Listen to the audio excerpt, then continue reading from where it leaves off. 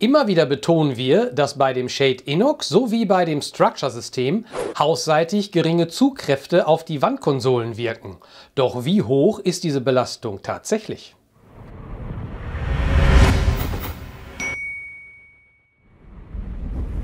Ausführliche Anleitungs- und Montagevideos stellen wir für unsere Shopkunden in unserem Premium-Bereich zur Verfügung. Für regelmäßige Tipps und Tricks abonnieren Sie unseren YouTube-Kanal. Wenn Sie Ihre aufrollbare Sonnensegelanlage mit einzelnen Wandkonsolen montiert haben, sind die Zugkräfte abhängig von der Größe Ihres Segeltuches und auch von der Windstärke.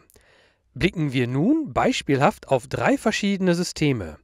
Bei einer Segelgröße von 8,75 Quadratmeter, also 3,5 mal 2,5 Meter, haben Sie bis zur Windklasse 3 auf den äußeren Wandkonsolen eine Zugbelastung von ca. 58 kg.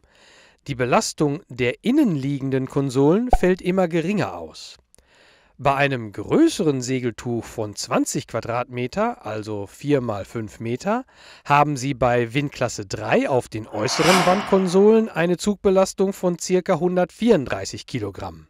Die maximale Segelfläche der Systeme liegt bei 36 Quadratmeter, also bei 6 x 6 Meter Breite und Ausfall. Bei Windstärke 3 liegt die Zugbelastung der äußeren Wandkonsolen bei ungefähr 241 Kilogramm.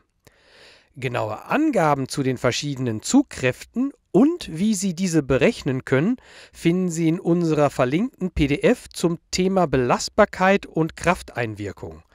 Außerdem haben wir Ihnen ein Video eines Belastungstestes des Shade Inox verlinkt. Setzen Sie bei der Montage der Shade-Systeme auf stabile und zuverlässige Komponenten und bedenken Sie, dass das Shade Inox und das Structure-System ab Windstärke 6 unbedingt einzurollen sind, damit Schäden am Tuch vermieden werden. Wenn Ihnen das Video weitergeholfen hat, dann hinterlassen Sie doch einen Daumen nach oben. Und falls Sie noch Fragen haben, schreiben Sie die hier bei YouTube direkt unter das Video oder an die eingeblendete E-Mail-Adresse. Vielen Dank fürs Zuhören.